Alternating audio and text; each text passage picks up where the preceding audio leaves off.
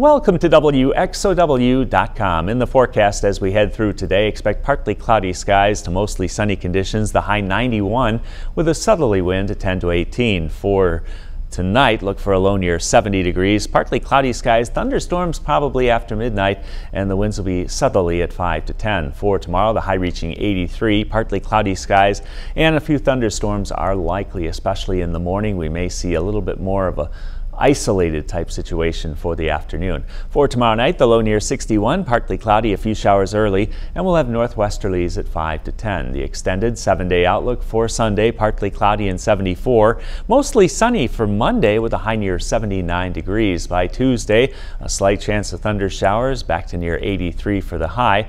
In fact, lower 80s will take us through Wednesday, Thursday, and Friday. And Thursday also sports a moderate chance for a few showers and thunder showers.